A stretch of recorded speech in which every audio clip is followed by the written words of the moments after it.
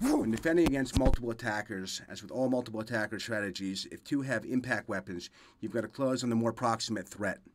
Close, stun him, disable him however necessary, and remove that impact weapon to use against him and the second attacker. The key, again, with all multiple opponent scenarios, is keeping the initial attacker in between you and a second attacker or even a third attacker.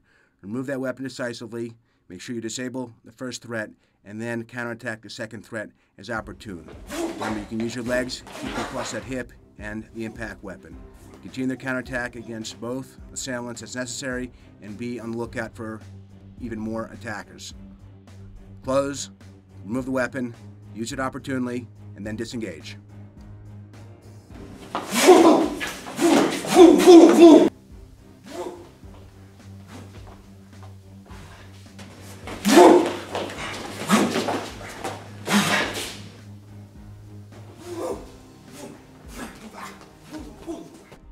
When defending multiple attackers, as noted, you've got to close on the more proximate attacker with a threat. If there are two impact weapons, obviously you want to close and use that other impact weapon to the best of your advantage by removing it and using it against the second attacker.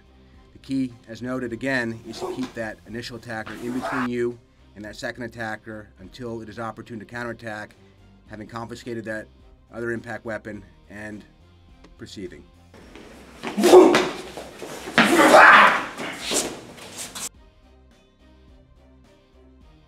When defending against multiple armed opponents, you may encounter one attacker with an edge weapon and another with an impact weapon. Optimally, you'll be able to defend against the more proximate threat if it happens to be he with the impact weapon. Engage, close, disarm him, and use the impact weapon against the edge weapon. If, however, the edge weapon is closer to you and you need to defend against the more proximate attacker, you can engage again, disable him, stun him, use a counterattack, remove that weapon, and then you can use a modified impact weapon defense using the blade. But of course, you've got to use it for the right reason because this can be fatal or lethal if you stab him. So again, multiple armed opponents are very, very dangerous. Of course, you want to run away if you can or pick up any barrier. But again, the order of interception or engagement would be optimally the impact weapon, wheeler first, and then the edge weapon. Use that impact weapon's length to defeat the edge weapon threat.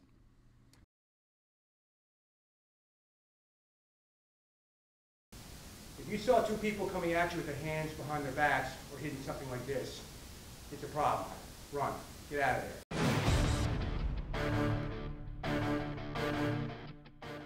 Okay, we're going to look at one versus two with an edge weapon. Both have edge weapons. Your optimum defense is to run the other way fast, but if you can't, you got to keep moving. All right, the previous scenes were just tactics. Now I got to keep moving. Don't present a stationary target whether you're facing multiple opponents, armed or unarmed. Here we go.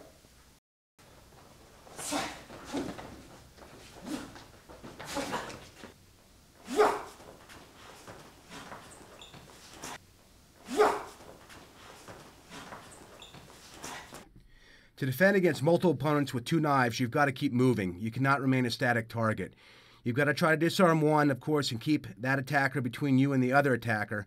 Remove the knife immediately and use it as necessary. This is a highly dangerous scenario if you can run, if you can pick anything up, obviously a weapon of opportunity to help you disarm the person, attack him, whatever it may be. But you've got to steer clear of those knives. Again, same principles apply with multiple opponents, any kind of weapon.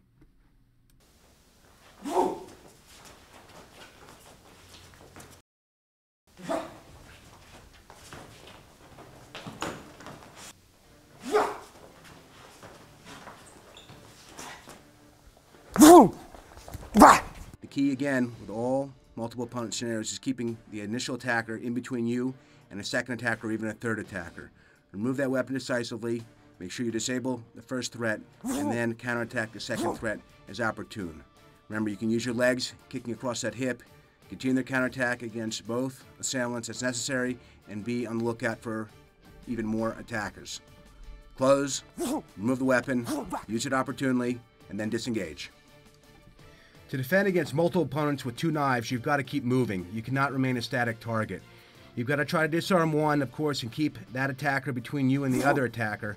Remove the knife immediately and use it as necessary. This is a highly dangerous scenario if you can run, if you can pick anything up, obviously a weapon of opportunity to help you disarm the person, attack him, whatever it may be. But you've got to steer clear of those knives.